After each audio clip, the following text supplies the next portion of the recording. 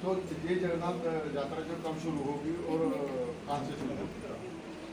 दो जुलाई को शुरू दो जुलाई को दो बजे शर्मा फ़ील्ड शॉप पे अखनूर हॉस्पिटल के सामने से आरंभ होगी और जो ख़त्म होगी समाप्त होगी ये वापसी में प्रभुपाद पिचिंग सेंटर में वापस यहीं पे आके समाप्त होगी। ये अखनूर शहर में पहली बार होने जा रही है। भगवान जगन्नाथ जी की जो रथ यात्रा है इसका जो महत्व है वो आगे माता जी बताएँगे। इससे पहले मैं आपको ये बताना चाहता हूँ कि अखनूर में आज से पहले ये यात्रा नहीं हुई। मैं सबसे ये प्रकाश भी करता हूँ, एक विनती भी करता हूँ, हम सभी को आगे आना चाहिए और इस यात्रा की शोभा बढ़ानी चाहिए। अब इस यात्रा का जो महत्व है कि क्यों हमें इस जगन्नाथ यात्रा के साथ हमें जुड़ना चाहिए और कैसे हमें कार्य करने चाहिए, वो महत्व अभी माता जी समझाएँगे।